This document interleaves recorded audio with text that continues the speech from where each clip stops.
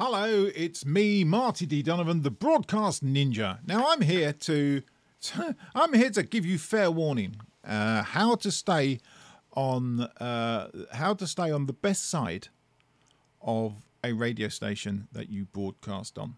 Now, if you go to work for a radio station, um, they will probably have um, some streams, not just the one stream, but some streams, and they will allocate you with a stream. Okay, so you would then go and set up your stream accordingly. But there's uh, there's one or two things. So, but there's there's one really really bad mistake you could make.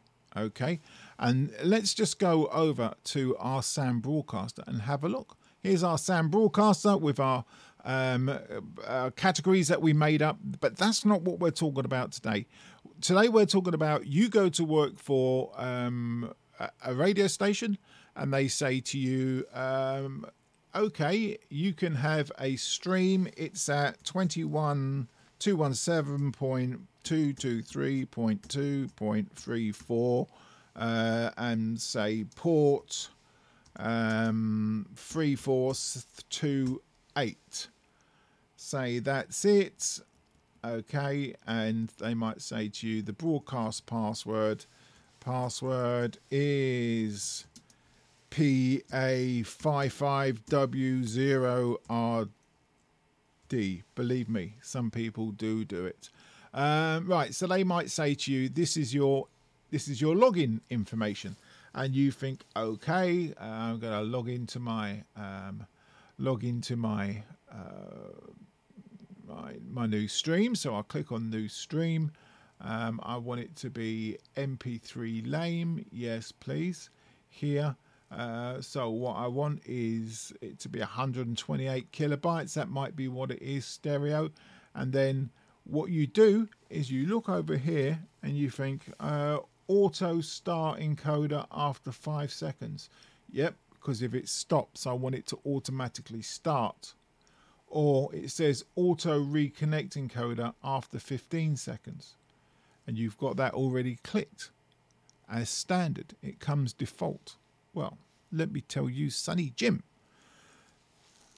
When you're given a stream, you're given a form of um, uh, you're given a they, they they're giving you the sort of like we trust you to be competent with our details um, and therefore you don't click um, auto start encoder.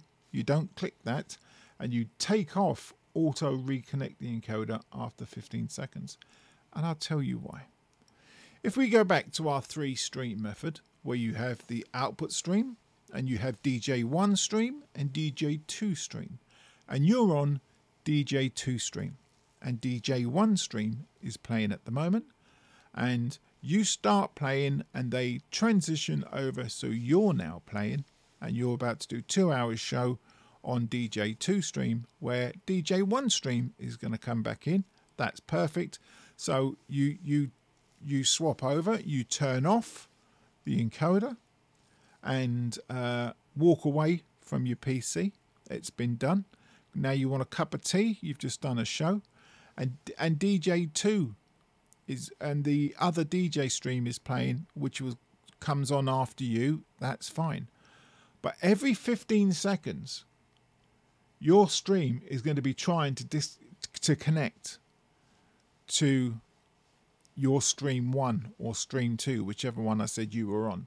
Every 15 seconds it's going to be trying to connect. It will get um, if it's being used it will get code error 200 um, but if it isn't being used it will keep waiting keep waiting and dj2's playing and your dj1 will auto connect so you're connected to the auto uh, DJ1 stream again after 15 seconds. You've walked away and it's reconnected to your stream, but the DJ stream 2 is playing. It doesn't matter. You don't hear nothing because the other stream's playing.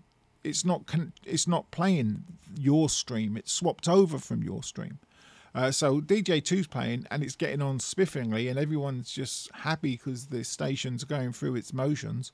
But you've now reconnected to your stream. So your stream will stay connected. And then what happens is the show after you comes off and your stream goes live again because that's how it's set up to work because the next DJ is meant to connect to your stream 1 but he can't. He's getting error code 200 because stream 1 is already in use because you've automatically connected to it 15 seconds after you walked away from your from your disk from your computer. And you might now be asleep. You might be out with your friends or wherever you are but your computer is connected to that stream and that stream is now dormant because whatever you've left playing on your computer is what's now playing over the air and the people whose station it is then has to rewrite another script to bring that um, encoder out of the game and the other encoder into the game and then readjust every stream after that in order for it to work. It's a bit of a headache. It's what they might call in the trade a ball ache. Um, so when you're setting up your streams, okay, unless it's your stream, if it's not your stream, disconnect these two here. You really don't want that mistake. It's happened to me. I've walked away. I've gone to work that night getting a call on my Facebook telling me my, my internet is still connected to the stream and the other DJ can't connect now because I'm there. So they have to give him another IP to connect. Oh, it's it's not it's not professional.